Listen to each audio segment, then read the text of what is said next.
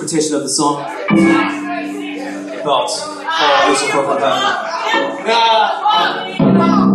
It is called Celestial